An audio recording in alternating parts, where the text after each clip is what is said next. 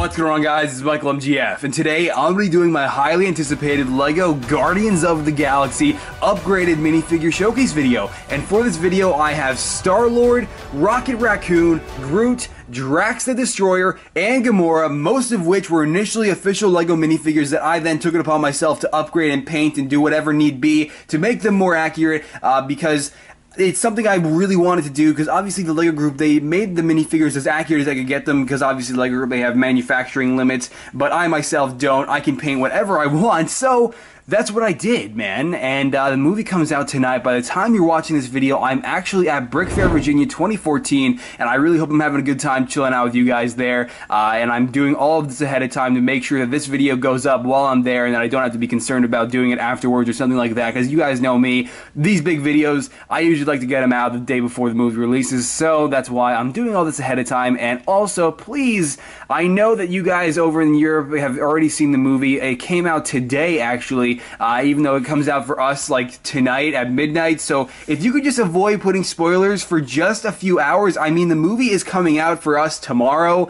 I mean, that would be heavily appreciated. And if you feel the absolute need to post spoilers, then please do all cap spoilers and a colon before you start your comment just to avoid uh, uh, people getting it ruined because we're about to see it. So just hold off a little bit, man. That would be appreciated. But yeah, guys, so these minifigures are pretty much me taking all of the LEGO Group's minifigures and upgrading them to the best of my ability. However, the only exception is Groot because Groot is entirely my own minifigure with a heavy amount of sculpting and an extreme amount of painting. But I really am so overly satisfied with the way he turned out in the end. I can't wait to show him to you guys, but he will be the last one. So stick around all the way through this video as there is some awesomeness ahead. And uh, without further ado, let's get started. Alright, and starting off with Emmet from the Lego movie, or actually Star-Lord from Guardians, uh, this minifigure actually has the least amount of work done to him as uh, LEGO Group I mean, coming out of the box with those two sets Star-Lord was included in, LEGO did a pretty freaking good job. And obviously, like I already mentioned in the beginning of this video, LEGO does have manufacturing limits. Did I mention that at the beginning of this video? I don't know, but LEGO does have their own manufacturing limits, so I pretty much went beyond that. Painted his arms and legs along with uh, some various details on his helmet. Those details on his helmet basically just include, you can you might notice a ton of different black lines, a lot of outlining went on here. I added some gray right here, which have little bolts uh, painted on top of them. I have a little, uh, couple little breathers that I painted on the front there, some lines on the around his eyes there, and uh, some things like that. I also uh, redid his uh, facial expression. You'll notice that he now has a more aggressive mouth rather than the uh, you know the smirk that is given in the Lego set. So that's something I added to the head, and also included with Star Lord here, I gave him his own painted hairpiece to make the hair color a little bit more accurate than what was originally provided in the Lego sets. And also,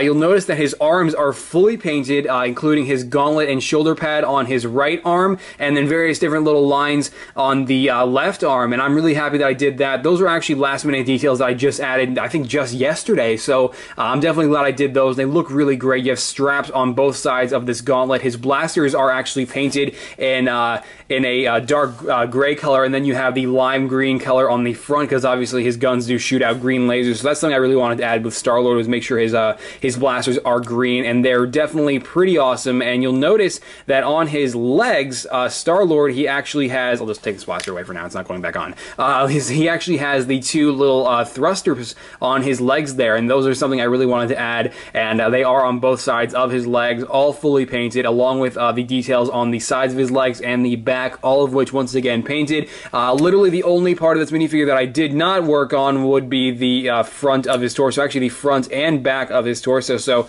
I mean, I did do a lot to Star-Lord, but not as much as what you're about to see with the rest of the Guardians, um, but I mean, Chris Pratt, who voiced Emmet in the Lego movie, is now the head of the Guardians of the Galaxy cinematic franchise. That's awesome, and I can't wait to see him in this film. But uh, now let's get a better look at Gamora. And Zoe Saldana has finally made her way into the Marvel Cinematic Universe as Gamora, Thanos' I probably shouldn't say that, even though it's common comic book knowledge. I probably shouldn't say that. Uh, but anyway, yeah. So Gamora is literally uh, a completely new figure aside from the head. The head, Lego actually did a great job betraying uh, Zoe Saldana's green face here. It actually looks really, really great. Uh, I already showed this in my review of the Milano Spaceship Rescue, but uh, it is literally the exact same head from that set because Lego did an excellent job on it, and uh, that also includes the alternative facial expression. if I can get the head to twist twist around here. And uh, so, yeah, like I said, the head it remains completely untouched. It's a great head, and it was exactly what I was looking for with my own portrayal of Gamora. So, uh, putting the hair back on, and by the way, I even I say the entire minifigure is redone except for the head because I actually, uh, the highlights you see in her hair, I actually went over with my own paint instead of uh, sticking with the color that Lego had for their printing. Um, but yeah, so then also her torso and legs. These are the two things that I worked on the most. And obviously, she has a new pair of lime green arms, which were not in the actual set either either, because um, this is obviously a completely new outfit. This is the outfit that, that she wore before she too got her own uh, red outfit that I assume takes place toward the end of the movie when they all get suited up in those red jumpsuits, whatever they are. Um, but yeah, so this this is the front of her torso. This is this torso piece is actually an Arielite curved torso. If you uh, are interested in getting your own uh, curved torso for female characters, you can get them on arielitecustoms.com. So it's arielite.customs.com. I know some people, some of you guys have trouble uh, making out what I say uh, when I use that name, but the torso is fully painted and as accurate as, as I could get it using various different blue metallic colors, the lime green on the upper portion of her torso, along with uh, more greens here and the uh, certain like netting that she has on the front of her clothing and the curved torso really tops it off. However, the back of her torso does not have anything on it really aside from uh, some minor paint details there because literally I couldn't find a photo of her back. I could not. And uh, so I, I, I don't know what goes on her back. And uh, according to the Hasbro figure, there is nothing on her back. So I decided that this would just have to do for now, and I might upgrade it sometime in the future. But you'll also notice that her legs are fully painted and honestly look really great. Once again, using more metallic blue color. You notice she has these two little buckles here, which are really great with the black lines running through them. And uh, it's very faint, but there is actually a strap painted on there as well, including uh, you have all these different little details running all along the legs. Once again, fully painted in various different little straps as well. And uh, some of these straps actually have black lines running through them, so that was pretty cool to paint on. Um, but other than that, that's really it for Gamora. And she has the standard sword, but this time instead of having the uh, square base uh, to, on the uh, top of the hilt. It actually is the one of those circular uh, based swords. So yeah, man, there's Gamora. We're the freaking Guardians of the Galaxy. All right, and here we go with the, I think easily the most badass character so far in the entire Marvel Cinematic Universe. We have Rocket Raccoon. This minifigure has a full uh, revamp going on here. Now, granted, I really got hands with Lego Group. They did a great job with Rocket. They have manufacturing limitations. They can only use certain colors. They can only print certain things, and I totally understand that. They did great for what they had available, um, but I obviously am taking it a lot further and making him even more accurate to this little CGI raccoon voiced by Bradley Cooper because what I did was primarily was I gave him a full recoloring. He, he is now a grayish dark brown. This color was not easy to achieve it took a lot of mixing, but when I finally got it, I was like, oh my god, this is going to look really good. And I'm really happy with the end result, as you can see here. The entirety of the front of his face is all completely redone as well. His eyes are smaller. He has eyebrows now. I redid all the fur on the front, added some tan going within it. You'll notice he has little uh, holes on his nose there. He now has a mouth, which to give him a little smirk. That was not there originally. And uh, he has uh, the, the pauldron on the sides of, it, of this mold is all are all outlined as well. You'll notice I painted all this orange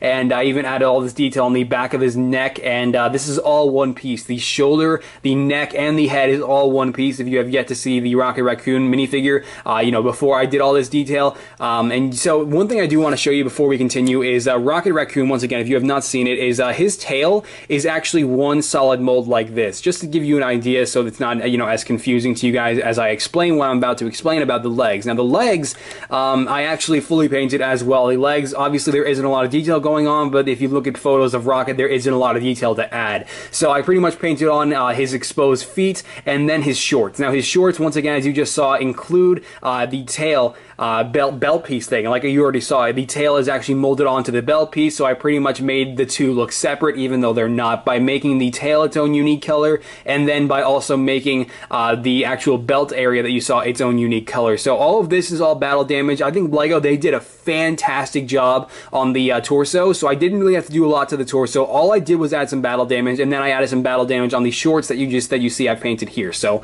Hopefully that explains it, and also his gun. Now, I think Lego, uh, what they did with his gun is fine. I think I, I couldn't see them doing anything else. It was a little bit too big, though. I weighed the minifigure down a ton. You could not stand up Rocket Raccoon for your life. So what I did was, even though this gun is not in the movie, even though you'll never see him use this gun, and even though this gun is not from uh, anything Marvel, I still thought a BrickArms Pulse Rifle was a bit more his size, and it looked a little bit more, uh, you know, it just looks better on Rocket if you ask me. So I took a Gunmetal BrickArms Pulse Rifle, painted some black highlights, and painted in some metallic blue uh, areas that you can see here, and uh, I think it looks a lot better for Rocket. Once again, it's not actually in the movie, but it's still things like this that I decisions like this that I occasionally make for my minifigures is always for the best, and um, yeah, so that's pretty much it for Rocket Raccoon. I can't wait to see this half cybernetic CGI Bradley Cooper raccoon. It's going to be fantastic. So, uh, yeah, Rocky Raccoon, he was actually a lot harder to paint than you might think. And for our second to last, we have Drax the Destroyer. And this guy, uh, this was a lot of painting, I have to say, um, because Obviously, in the set, Drax is gray. In the movie, Drax is gray, but he has a green tint to his skin. And I'll, I'll put some photos while I'm talking about this. It's just, I mean, yeah, he is gray. He's like half gray and and then half green in the in the movie, or maybe he's just completely gray with a green tint. I don't know, but I mean, you look at certain shots in the trailers and the lighting, and he looks green. I mean, Hasbro made him green, so I don't know what is right and what is wrong in terms of Drax's color, so I did what I thought was right and what I thought looked best and accurate to the comics, because Drax is just more recognizable green. He's green in the comics, he always was, and uh, he, I don't know, he just, he looks better green, and I knew he would, so that's what I did here, regardless of accuracy. This this time I decided, okay, Drax is green in the comics. He's got some sort of a green tint in the movie, so I think I'm going to make him green. That's what I did here. So just want to put it out there right now. Lego is not at fault for making him gray. I don't blame them for anything there. I totally think it was the right way to go. It's just he still looks better green, in my own opinion, regardless of how accurate it might not be uh, or how inaccurate it is. Regardless, this minifigure is uh, the torso, arms, and head are fully Legos, except I repainted the entirety of them. They were completely light gray, and then I weaved around every single tattoo you see on Drax. This was quite complex to do, very tedious because you look at this, this was all gray, and I weaved around every single little tattoo that you see on Drax, and it was not easy. It was a lot of really small uh, paint dabbing. It was it was nuts to do, but I'm really happy with the result because it really did work out, and I wasn't sure if it was going to, but uh, I weaved around every tattoo, and he looks like a boss. So his his uh, knives actually they're no longer the uh, standard Lego knives. These are actually BrickArms uh, combat knives that I then painted the uh, blades silver and uh, because Drax's uh, uh his his knives in the movie are slightly curved, so I mean I thought it was a little bit closer, and just generally uh, they look a lot better than uh, standard Lego knives. So I decided that combat knives are actually really you know definitely the way to go with Drax, and also that was recommended for me recommended for me to do by TR Legos fan, my good friend. But um yeah, so the legs are completely painted as well. I mean just to give you a look, the, these are fully painted. The entirety of these legs, buckles, lines, and everything, all fully painted, and I I mean that's pretty much all I can say about them. The belt is also fully painted on the back and on the front, and uh, both of which are fully accurate to Drax's belt in the movie. And uh, so I'm really happy with the way the legs turned out. Painting his legs was actually a last minute decision. I wasn't sure if I was going to have to stick with the dark red legs that were provided in the set, or if I'd have time to do this. I'm glad I had time to do this because this looks a lot better. Because uh, obviously Drax is wearing, uh, you know, he, he has two different outfits in the movie, and this is obviously the first one he's wearing in the movie uh, before getting those dark red pants. So I mean, yeah, the legs turned out great, and hopefully you guys think so too. But now we can move on to, I think, what you guys are all here for Groot. Alright, and here's the Floral Colossus himself, Groot. Now, I, man, you would think that this is the most challenging minifigure I have ever had to make, but believe it or not, it actually isn't. And I'll get into the reasons just as to why in a minute. Um, but you guys know I don't do a lot of sculpting. I don't, I, I really don't on my minifigures. I use some pretty insane techniques on some of my minifigures, but I usually don't do a lot of sculpting. So walking into this minifigure, I was like, how am I going to do this? So I, um, I, if you guys wanted to know what material I use, used to sculpt Groot's head and his chest and his back, I used green stuff. Green stuff is a fantastic material and uh, it dries so well. I swear, Groot's head, it dried harder than ABS plastic. And uh, I think that, that that's great because, uh, you know, the sturdier the better. And not just that, but it just makes it so much easier to sand and work with once it's dry. And it, it, it's great. It's a great material and I'm so glad that I used it. And, um, Groot honestly turned out to be everything I wanted this figure to be and more. And I was so, so disappointed by what the LEGO Group did with Groot in the Knowhere Escape mission set. I understand that they wanted to make him really easy to play with and, you know, be able to have Rocket on his shoulders, but that still doesn't excuse the fact that he doesn't even look like Groot at all. So, I did what they should have done. I made a new head mold and I repurposed the Toy Story Woody arms and legs to make them look, you know, the you know, perfect for Groot, perfect on Groot. And I thought that, you know, this would have been the perfect opportunity to bring back the Woody arms and legs for uh, Groot, but the Lego group just didn't take it. And I um so I did this. And I am so really I, I'm just really proud of this minifigure. But um getting back to what I said about Groot originally, with the fact that he's not the most hardest the hardest minifigure I've ever had to do Granted, the sculpting was pretty insane, like three straight nights of sculpting and uh, you know sanding. It was it was pretty nuts sculpting the head, yeah. But I mean, the actual wooden pattern you you see all over Groot, this was fully free-handed, and I just completely made up the pattern as I went along. I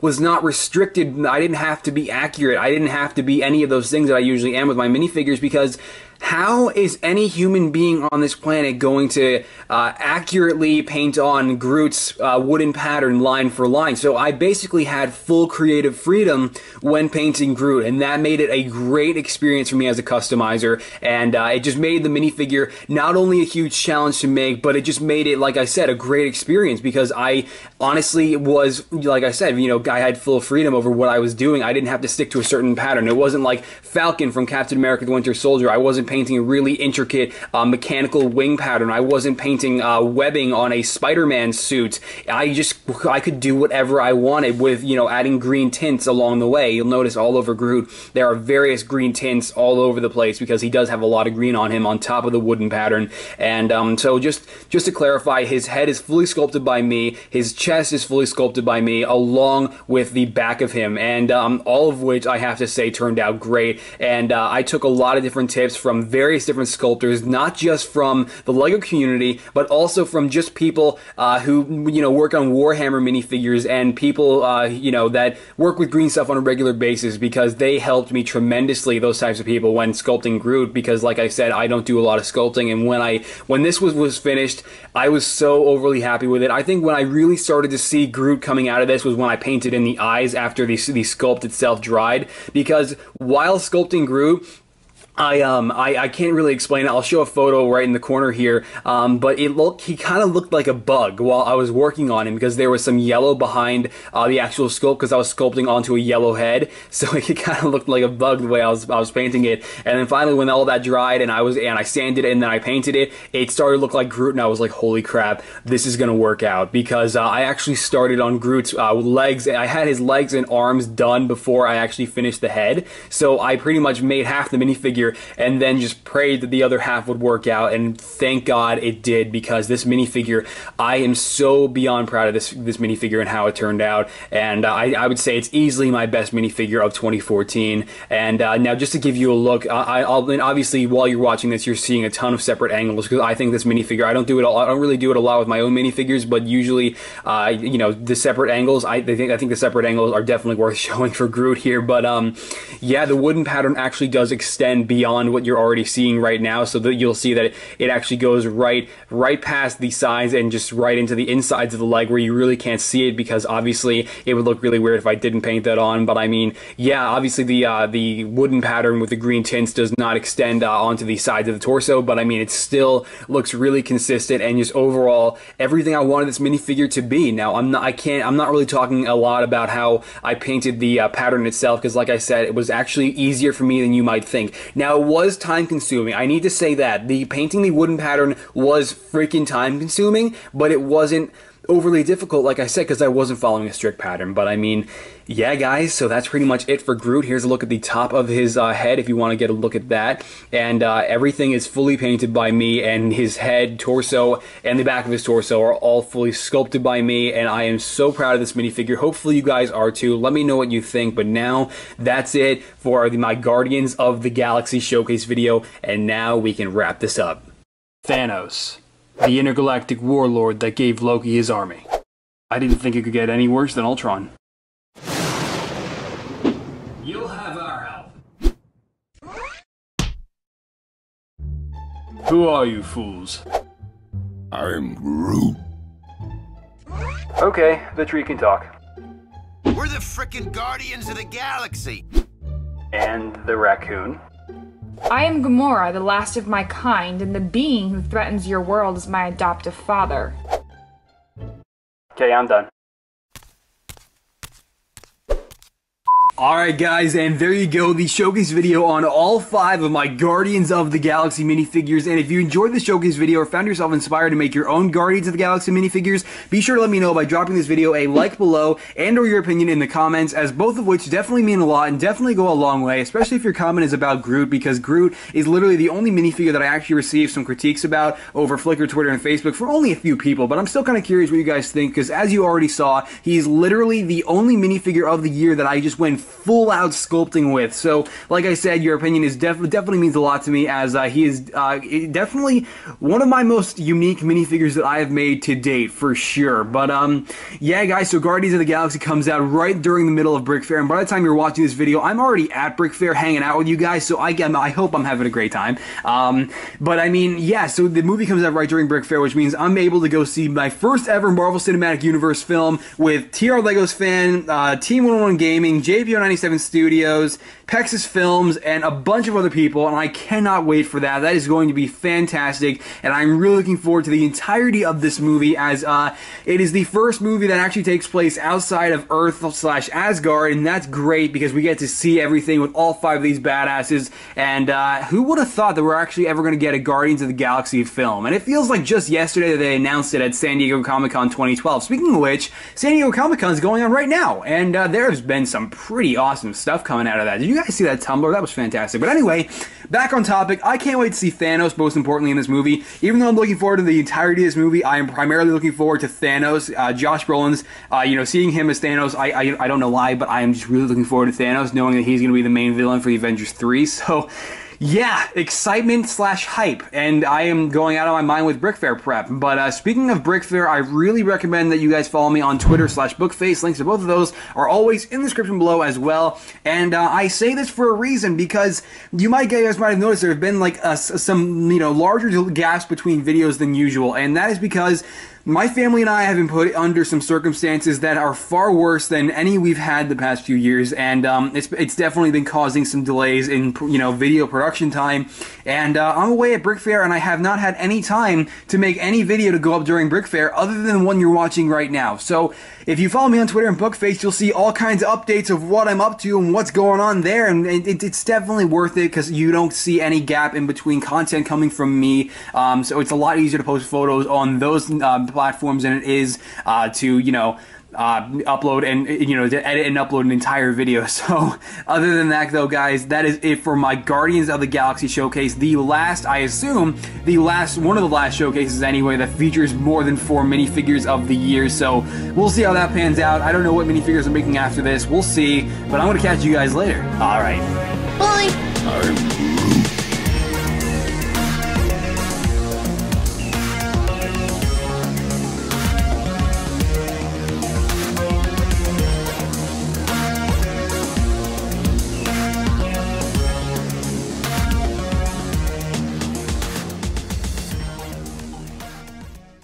on all five of my Guardians of the Galaxy upgraded mini on all five of my Guardians of the Galaxy custom minifigures, and uh, I. Oh, brilliant! Now we're barking. That's that's great. Can you stop, please? Job on the head, so I didn't have to do anything to it. This look, this shot looks really bright. I'm Groot. What's going on guys, it's Michael MGF, and today I'm going to be doing my long anticipated It's not. Well, I mean, what do you guys think? Anyway, what's going on, guys? It's Michael MGF, and today I'm gonna be doing my long. It's not long anticipated. I announced it like two months ago. Okay, why is this going out of focus so easily? My God. And uh, so I figured it wasn't exactly necessary to necessarily, ne exactly necessary to necessarily.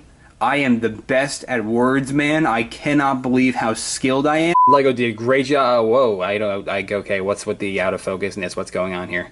Similar to what I did in the last year. Last year, the Avengers came out in 2012, but hell, you might as well call it last year. That's what it freaking feels like. Shut up, Groot. There are no cars coming. I am Groot. Star Lord, Rocket Raccoon. Gro mm, why did I hesitate with Groot? I was doing fine. So, other than that, though, if you enjoyed this video and you know, that I mean, that, that that's just what I think. Uh, great, fantastic. There we go. Give this video a like below and or your opinion in the I just bumped Drax. Damn it, I've been setting this up for a while. Can you just like not? Sorry, Groot. You're not gonna fit.